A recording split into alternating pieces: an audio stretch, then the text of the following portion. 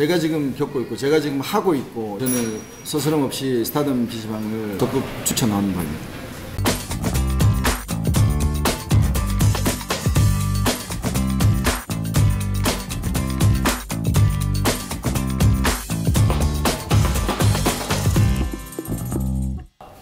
안녕하십니까.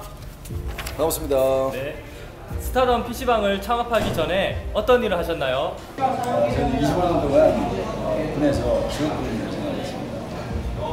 많은 프랜차이즈 중에 스타덤 PC방을 선택하신 이유가 있으신가요? 전역 후에 PC방을 하겠다라는 생각은 없었고 어, 다른 사업을 하다가 어, 안정적인 수익이 되는 사업을 하나를 해야 되겠다 싶어서 PC방을 선택을 했고 어, PC방을 선택하는 과정에서 여러 프랜차이저 점들을 확인을 하고 어, 분석도 하고 했는데 다 같은 공통점이 뭐냐면은 어, 사후 관리가 안 되고 있더라. 직접적인 오프라인에 가서 확인을 해봅니다. 그러면서 제가 유튜브를 통해서 스타덤 PC방을 접하고 관계자를 만나서 인터뷰를 하면서 어, 여기는 뭔가 다른 게 있구나 라고 생각을 하고 직접 뛰어들게 됩니다. 손님들의 반응은 어떤가요?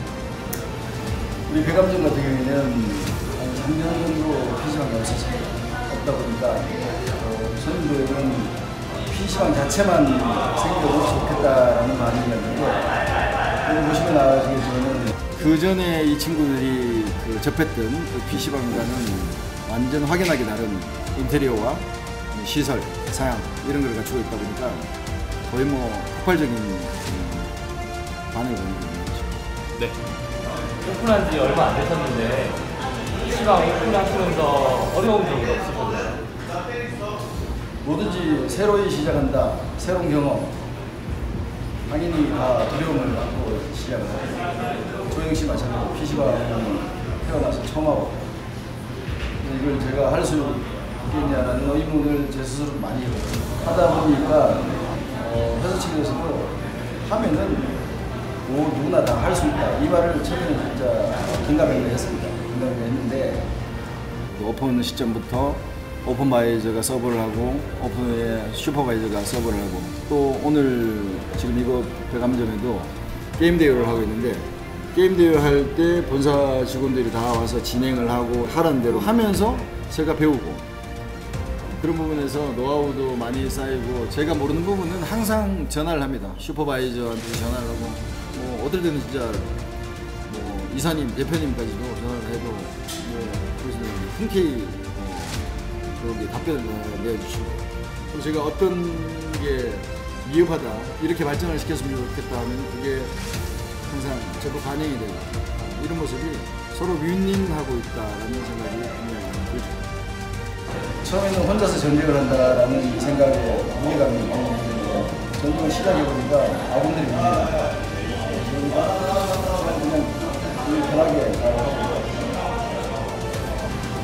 현재 수익성에 만족하고 계신가요? 수익성 부분에는 오픈한 지 이제 한 달 조금 넘었기 때문에 어, 지금 제가 생각했던 그대로 잘 가고 있는 것 같습니다. 잘 가고 있는데 조금 더 노력을 해서 어, 여기에 머무르지 않고 지금 점주가 얼마나 어떻게 하냐에 따라 가지고 이거는 수익이 판도가 달라진다라고 저는 생각을 하고 있습니다. 저 같은 경우에는 뭐 이번 설 연휴 같은 경우에는 4일 동안 잠을 안 자고 그냥 뭐 수익은 거의 뭐 평시에 한 배가 올라 올라가는 걸 보고 이 지금 오픈을 한 매장 그리고 처음 하는 매장 기존에 있던 매장도 마찬가지 그, 그 점주들이 어떻게 하냐에 따라 가지고 많이 달라진다고 저는 확신하고 또한 스타덤 같은 경우에는 그 플러스 어, 본사에서 지원하는 부분이라든가 어떤 서버 해주는 부분들이 굉장히 큰 도움이 됩니다. 마지막으로 스타덤 고민하고 있는 예비 창업자들에게 한마디 하신다면 만약에 PC방을 하시겠다 하면은 제가 뭐 다른 프랜차이즈 그냥 개인적으로 알아봤지만은 그래도 저는 스스럼 없이 스타덤 PC방을 권유를 해드리고 싶습니다. 제가 지금 겪고 있고 제가 지금 하고 있고 이러면서 가장 좋았던 부분 항상 24시간 소통의 길이 열려있다. 그리고 제가 정말 필드에서 이건 정말 모르겠다 하면 직접 와서 가려운 데를 보고 어루만져주고 이런 부분 관리 측면이나 어떤 모든 측면을 볼때 혼자가 아니라는 이런 생각이 굉장히 많이 들기 때문에 어, 적극 추천하는 바입니다.